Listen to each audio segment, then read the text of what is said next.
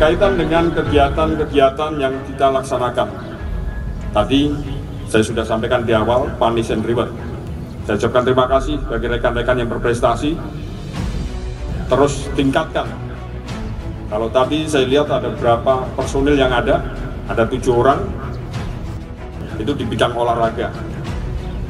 Di bidang olahraga ada di panjat tebing, climber, kemudian bela diri baik itu karate maupun silat.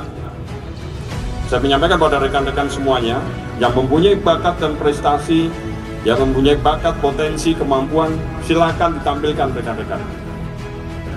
Keluarkan energi positif rekan-rekan semuanya itu. Sehingga Anda membuat nama baik satuan, membawa nama harum daripada pribadi, keluarga, dan juga mewarnai yang bagus yang ada bukan hanya kebanggaan saja. Ini yang saya sampaikan pada rekan-rekan semuanya.